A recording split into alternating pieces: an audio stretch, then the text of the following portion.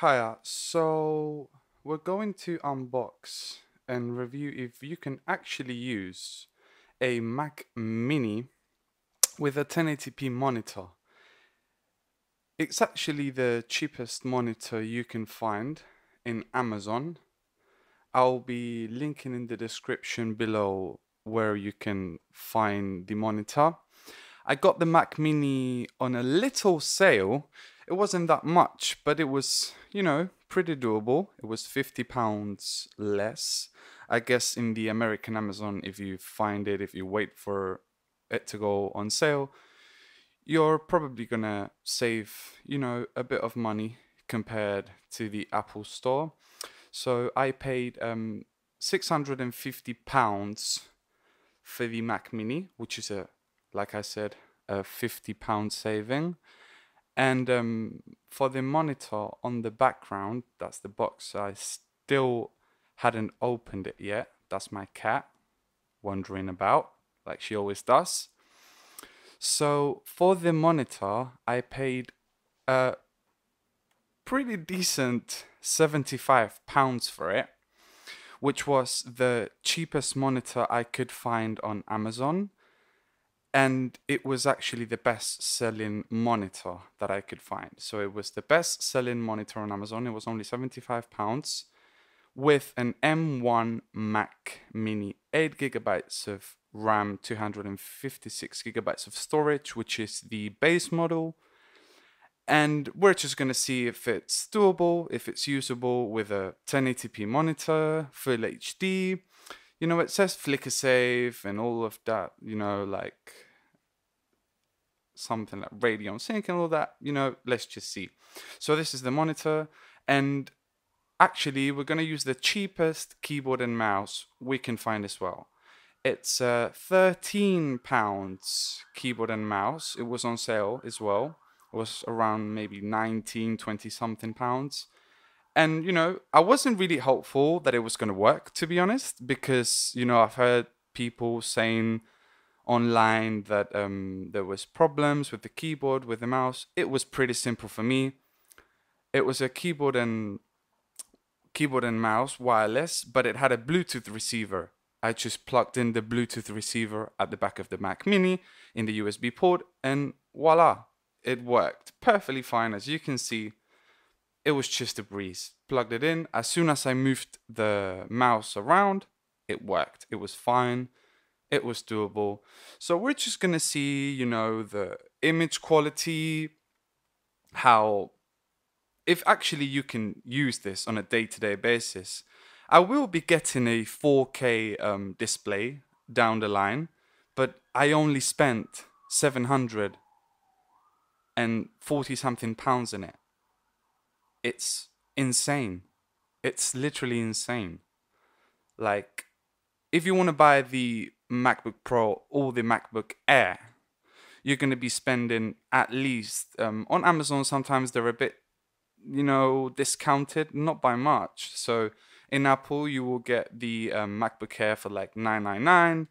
Uh, same in America, same in England, and the MacBook uh, Pro, the same thing, 1,300 pounds or 1,300 dollars, and um, I only paid like 750 pounds for this, something like that, right? Less than that, like 740, 45. It's insane. It's insane you're actually saving 250 pounds with this setup that I'm showing you right here. So why not give it a try? You know, if you're on a budget, just buy the cheapest monitor you can find on Amazon, buy the base model Mac Mini, which is a workhorse, and then try it out. It's it's not gonna be the most color accurate, to be honest. And like we're seeing now, the setup was insanely fast. It only took like seconds. It didn't even take a minute to set up. Where, as in my MacBook Pro 13 inch 2019 base model, I just remember that that operation took way longer than that. Maybe, I don't know, it wasn't too long, a couple of minutes maybe, but it was significantly fast on the M1 Mac Mini. I'm just showing you some the modes that you have on the TV, they're pretty basic, you know, custom, game, reader, stuff like that. I tend to have it on custom. And now that I've used it for, you know, one day, I've fiddled with it, I've seen what are the best mode settings and stuff. I always have it on custom. I tried the cinema mode on the um, 1080p monitor. I just prefer the custom mode. I, I adjust everything to my liking. You have picture adjust. You have um, you know, it's just easier to go to custom mode if you if you can. I mean, if if you're fine with cinema mode, then just go for it. I just fiddled with it around. Here it's just a quick. I'm just we're watching the same thing. So as you're watching, I was just setting it up, having a look at it, and after this, I will talk about it later. But after this, um, because the monitor is it can go up to 75 hertz refresh rate. So um, I found that later. So when I finished this, like, you know, quick setup, um, I was, you know, just playing with the monitor around, and I did find on the M1 Mac Mini settings, on the display settings, that you can actually put it on 75 hertz. So that's what I did, and um, it does make it a little you know, a, little bit better. I don't know. You know, it's just it's pretty usable. I mean, um, I have edited this video on the um, on this monitor. I mean, it's not the most color accurate monitor, as you can see. It's not a 4K or a 2K. That's obvious. But I mean, if you're on a budget, look how fast the M1 is. It's insane.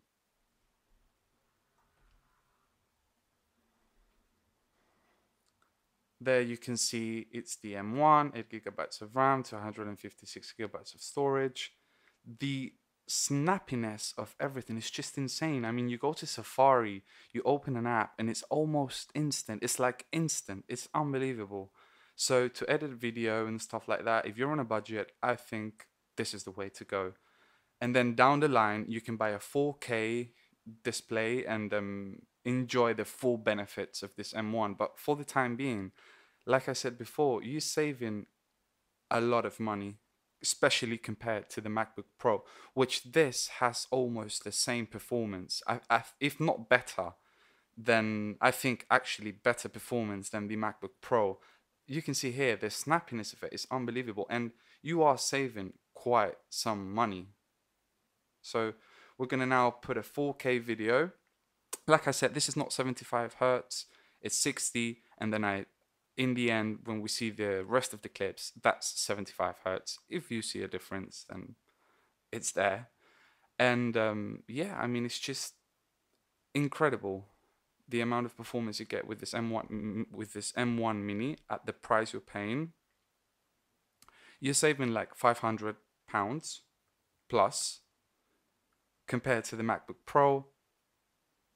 I'm not counting the 13 pounds of the um, wireless keyboard and mouse because I think that um, that's just that's just pocket change. So I'm not counting that.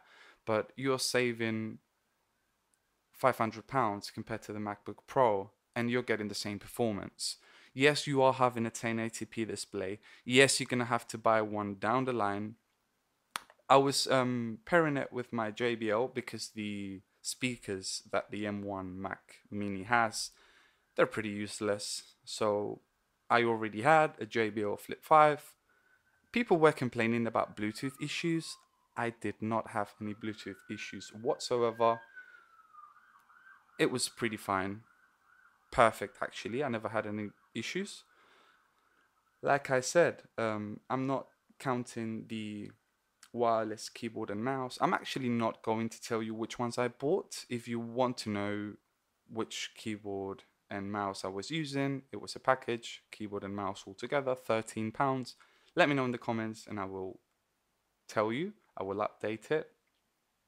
But um yeah, you can find any keyboard and mouse anywhere pretty cheap, so I'm just not going to count that.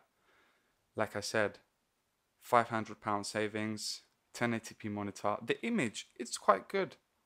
Maybe it's not perfect. Obviously, it's not 4K. This is the setup that I have. You know, I have a printer, a microphone. Look at that quality. I mean, it's a 1080p. It's not going to be 4K. I have a 4K TV. My my Retina MacBook from 2019 has a much better screen, but for the price you're paying, I think this is totally worth it. I'll leave you with some videos.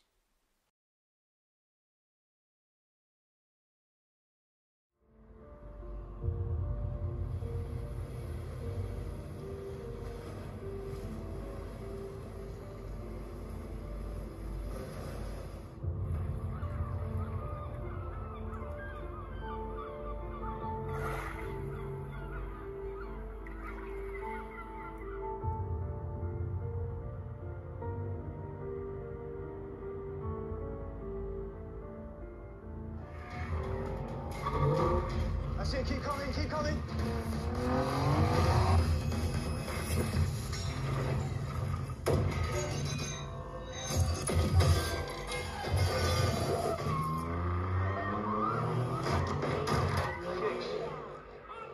You see that?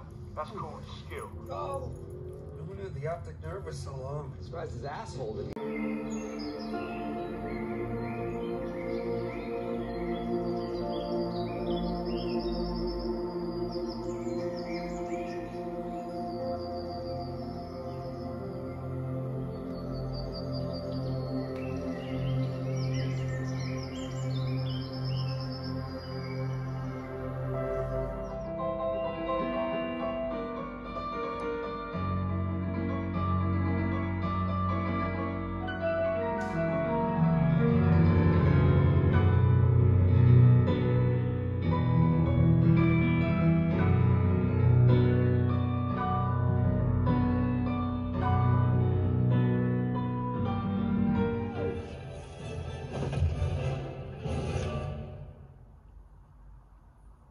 Assemble.